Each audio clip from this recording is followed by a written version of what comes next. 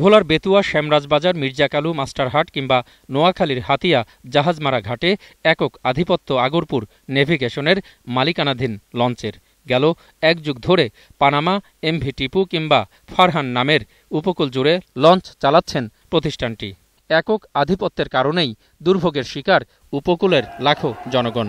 নিত্যকার যাতায়াত যন্ত্রণা থেকে মুক্তি ও নতুন লঞ্চের দাবিতে জাতীয় প্রেস ক্লাবে মানববন্ধন ও প্রতিবাদ সমাবেশ করেছেন ভুক্তভোগীরা।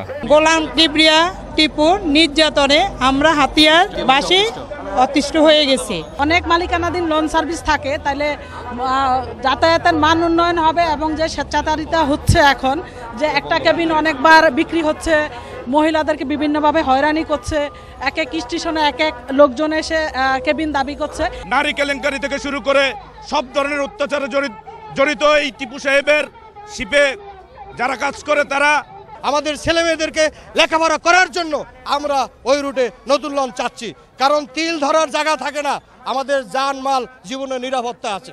কৃষিপ্রধান বোরহানুদ্দিন হাকিমুদ্দিন দৌলত খান লালমোহন মনপুরা ও ব্যবসাবান্ধব হাতিয়া আর সৌন্দর্য মণ্ডিত নিঝুম দ্বীপের শত শত জনগণ যোগ দেন এই কর্মসূচিতে।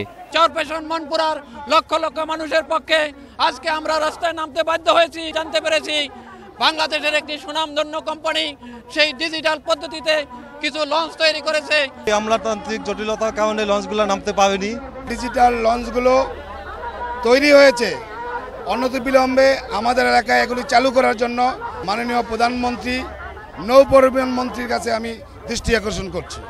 এক ব্যক্তির একচেটিয়া ব্যবসা ও অত্যাচার বন্ধ করে নতুন লঞ্চ চালাতে সরকারের হস্তক্ষেপ দাবি করেন তারা।